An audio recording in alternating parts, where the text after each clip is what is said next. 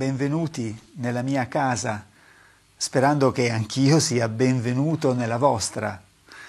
Sono stato interpellato per parlare di coscienza, un argomento profondo, difficile forse.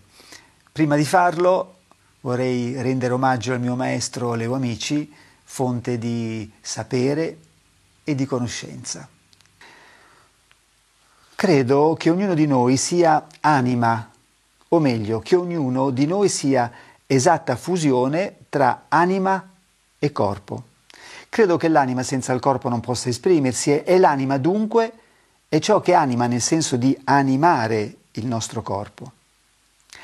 È la vita dentro di noi che da sempre è e per sempre sarà, che esprimendosi attraverso di esso, il corpo, ne usa tutti i componenti fisici e morali per raggiungere il suo scopo, quello di esprimersi, appunto. Non è dunque il cervello che ragiona, ma è l'anima che lo usa per esprimere il proprio pensiero, la propria dimensione, il proprio intento. L'anima dunque è l'essere pensante, l'entità che è cosciente di se stessa e di ciò che la circonda. Entrando però in un corpo per la sua nascita sul pianeta, nascita utile alle proprie espressioni, alla vita nell'universo con uno scopo ben preciso, usa l'apparato cervello e ne incide in quella sede i primi ricordi come persona. Perfetta integrazione tra anima e corpo. La coscienza è ciò che rimane della consapevolezza di essere, e cioè di vivere ma è dal momento delle prime registrazioni nel cervello che inizia il percorso della vita su di un pianeta. La coscienza dunque credo si possa definire il cervello dell'anima. È contenuta infatti nell'anima, ma non ha un contenitore appropriato, in quanto la coscienza è eterna, perfetta, come l'anima che la contiene, e quindi potrà esprimersi nella propria totalità solo in un corpo perfetto, e cioè in quello dell'eternità. Come la scienza ha ben descritto, in natura nulla si crea, nulla si distrugge, ma tutto si muta, si modella, si perfeziona attraverso il tempo. L'attuale corpo è mortale e attraverso il tempo suscettibile di deterioramento.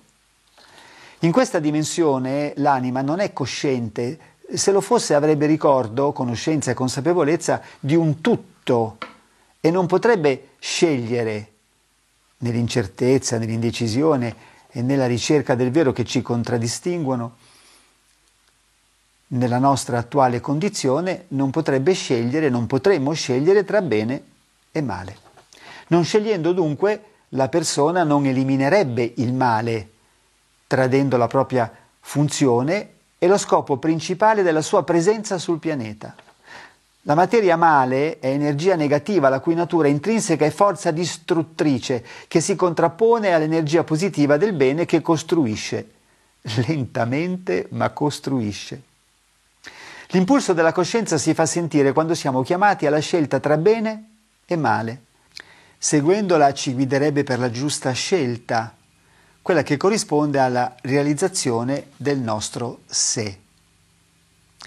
Se quell'impulso fosse ripetutamente ignorato, però, si potrebbe arrivare al ribaltamento della coscienza stessa, e cioè al suo contrario. Si farebbe sentire attraverso gli scrupoli quando scegliessimo il bene, l'esatto contrario, dunque, della sua vera natura. L'essenza di vita, il filo d'erba, i fiori, gli uccellini, gli insetti, i piccoli animali, non hanno coscienza in quanto, non avendo un'anima ma essendo essenza di vita, non devono scegliere tra bene e male e non devono corrispondere dunque di un compito ben preciso, come quello, pur nella libera volontà, di ognuno di noi, della persona.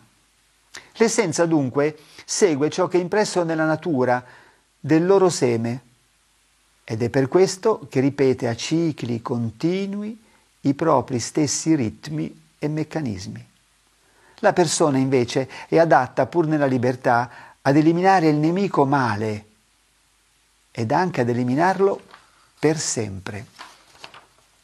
Francis Collins, genetista statunitense, guida dei ricercatori che hanno decifrato il genoma umano, scopre in esso ciò che egli stesso definisce la firma di Dio, e cioè che è insito nel nostro DNA, addirittura la coscienza ne ha impresso il proprio carattere, la peculiarità che distingue l'essere umano dagli altri esseri viventi. L'uomo sorride se si rivolge al bene, si disturba se ne dispiace, se ne risente del contrario. È con questa coscienza che vi saluto e vi ringrazio, augurandovi di saper affrontare con lungimiranza, pazienza e amore questi nostri tempi così difficili. Almeno io cerco di farlo. Allora grazie ancora e auguri, auguri a tutti. Ciao.